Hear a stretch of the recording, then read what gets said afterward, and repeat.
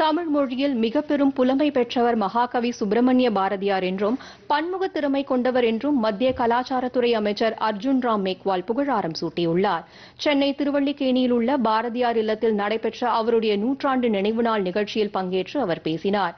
நாட்டின் கலாச்சாரத்தை மேம்படுத்தவும் இந்திய கலாச்சாரம் முன்னோக்கி செல்லவும் பாடுபட்டவர் பாரதியார் என்று அமைச்சர் மேக்வால் குறிப்பிட்டார். பத்திரிகையாளராகவும் சமூக சீர்திருத்தவாதியாகவும் மிக சிறந்த கவிஞராகவும் மகளிர் மேம்பாட்டை வலியுறுத்தியவராகவும் திகழ்ந்தவர் பாரதியார் என்று அவர் மேலும் கூறினார். இந்திய கலாச்சார மேம்பாட்டில் முக்கிய பங்காற்றியவர் என்று குறிப்பிட்ட அமைச்சர் மேக்வால் பெண்களின் முன்னேற்றம் இல்லாமல் நாடு முன்னேற முடியாது என்று சுதந்திரத்திற்கு முன்பே முழங்கியவர் பாரதியார் என்றார். மேலும் பாரதியாரின் வந்தே மாதரம் என்போம் என்ற பாடலையும் பாடி அமைச்சர் அர்ஜுன் ராம் மேக்வால் புகழாரம் சூட்டினார். முன்னதாக பாரதி பாடல்கள் அடங்கிய ஒளிப்பேழையும் அமைச்சர் வெளியிட்டார்.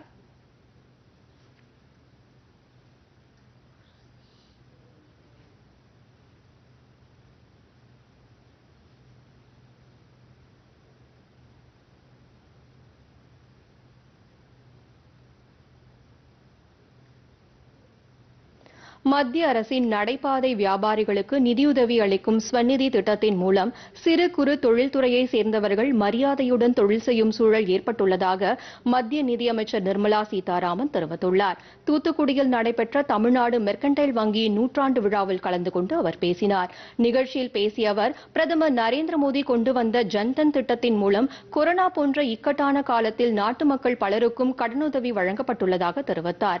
பொதுத்துறை வங்கிகளில் நிலவிய பிரச்சினைகள் இரண்டாயிரத்தி பத்தொன்பதுக்கு பிறகு சரி செய்யப்பட்டு தற்பொழுது இயல்பு நிலைக்கு திரும்பியுள்ளதாக அவர் கூறினார். இன்றைய டிஜிட்டல் யுகத்தில் வங்கித் துறையில் பல்வேறு மாற்றங்கள் கொண்டுவரப்பட்டுள்ளதாக குறிப்பிட்ட அவர் ஏழை எளிய மக்களுக்கும் வங்கி சேவை கிடைக்க வேண்டும் என்பதற்காகவே வைப்பு தொகை இல்லாமல் வங்கி கணக்கு வைத்துக் கொள்ளும் வகையில் மத்திய அரசு ஜன்தன் திட்டத்தை கொண்டு வந்ததாக கூறினார்.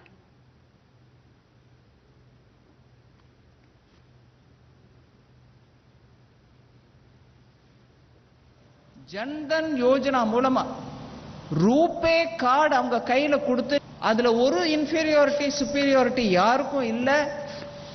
நீங்களும் அந்த ரூபே கார்டு மூலமா ஒரு சாமான் வாங்கறதுக்கோ விற்கிறதுக்கோ கூட முயற்சி பண்ணணும். அப்படின்னுட்டு தான் பிஎம் ஜன்தன் அக்கௌண்ட்ல அவங்க ஜீரோ பேலன்ஸா இருந்தாலும் அவங்களுக்கு ரூபே கார்டு கூட கொடுத்து அந்த அக்கௌண்ட் ஓபன் பண்றவங்களுக்கு இன்சூரன்ஸ் கவரும் கொடுத்தாங்க.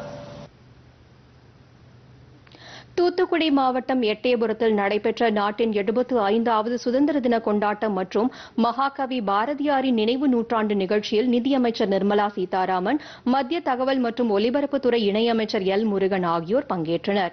பாரதியாரின் மணிமண்டபத்தில் உள்ள அவரது திருவுருவ சிலைக்கு அமைச்சர் நிர்மலா சீதாராமன் மற்றும் இணையமைச்சர் எல் முருகன் ஆகியோர் மாலை அணிவித்து மரியாதை செலுத்தினர்.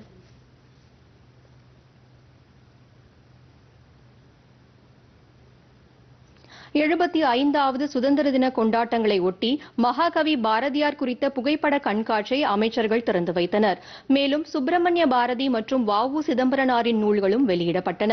வாழிய பாரத மணித்திருநாடு என்னும் மின்னூலும் வெளியிடப்பட்டது. தொடர்ந்து எழுபத்தி ஐந்தாவது சுதந்திர ஆண்டு கொண்டாட்ட பிரச்சார வாகனங்கள் கொடியசைத்து தொடங்கி வைக்கப்பட்டன.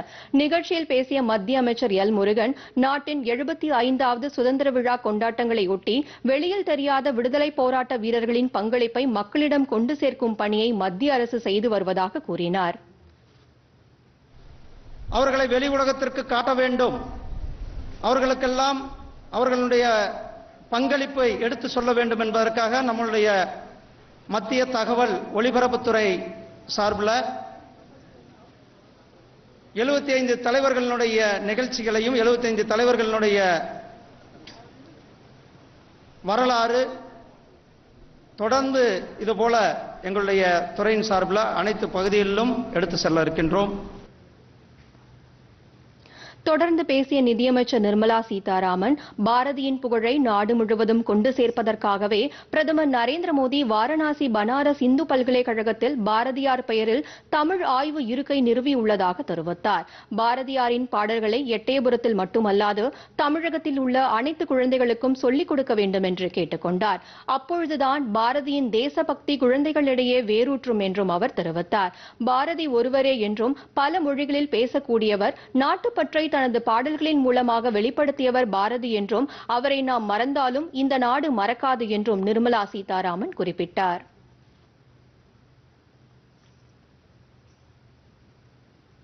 பிரதமர் அவர்கள் நரேந்திர மோடி அவர்கள் காசி விஸ்வவித்யாலயம் பல்கலைக்கழகத்தில் ஒரு சேர் அமைச்சிருக்காரு. அதாவது தமிழ் ஸ்டடீஸ் பிரதமர் ஐயாவோட எண்ணம் என்ன? சுப்பிரமணிய பாரதியார் இந்த ஊர்ல எட்டயபுரத்துல பிறந்து பாரதியார்ன்ற பட்டமே எட்டயபுர ராஜா கொடுத்த பட்டம். அப்பேற்பட்டவர் வாரணாசியில போய் காசியில போய் சம்ஸ்கிருதம் ஹிந்தி இங்கிலீஷ் எல்லாம் படிச்சுட்டு வந்து யாமறிந்த மொழிகளிலே தமிழ் மொழி போன்ற இனிதாவது ஏதும் இல்லைன்னு சொல்லி கவிதை ஏற்றினார். அதனால தமிழுக்கு ஒன்றும் நஷ்டம் ஆகலை. வந்து நல்ல அமுதமா இருக்கக்கூடிய கவிதைகளை ஏற்றி கொடுத்திருக்கார்.